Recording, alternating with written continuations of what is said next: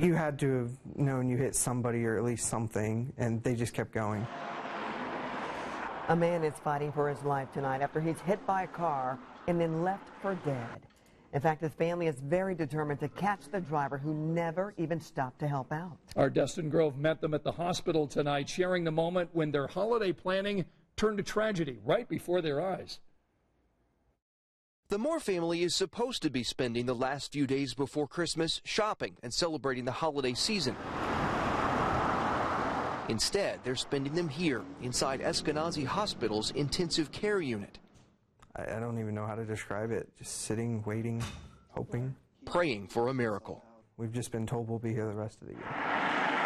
Nick, his wife, and his dad were in the car Monday night on I 65 when they thought they had a flat tire.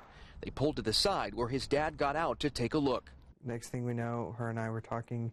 Uh, car goes by and we felt it shake, and then thud. We get out of the car and he's laying face down. A traffic camera captured the scene. When I flipped him over, he wasn't breathing, no chest movement or anything. So we struggled to drag him in front of the car, and cars just kept flying by. Medics arrived minutes later. The driver long gone. I don't know what they were doing or the situation of it. All I know is, like I said, they were they knew they hit something, but they didn't bother to stop. So whether they were traveling through the state or live nearby, I don't know how they couldn't stop. Nick says it was a black SUV with a fin over the back window, its passenger headlight now missing, and significant damage to the front end.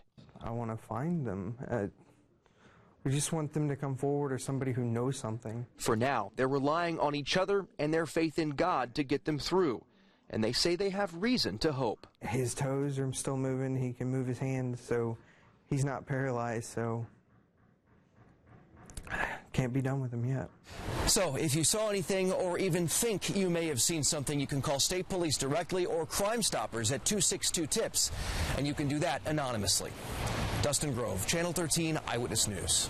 And to see Dustin's extended interview with the family, as well as more of their message to the driver, just head over to our website at WTHR.com.